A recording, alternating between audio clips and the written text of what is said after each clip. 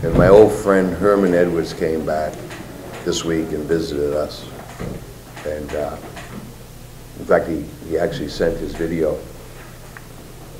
You play the game to win. We play the game to win. Even Charles Barkley visited us this week with his defense YouTube video.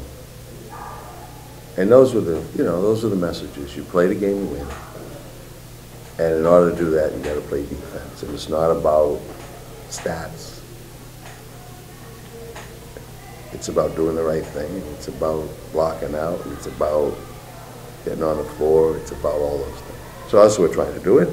But, you know, and if we can get, if we can keep, if we can get better at that as the year progresses, we'll have, you know, we'll have a much better chance of winning that first week in March. You think you got a shot at playoffs? There were playoffs. Don't you do it? That was in the, uh, the, oh, um, that was, uh, what, what was the coach's name? Was with the Colts.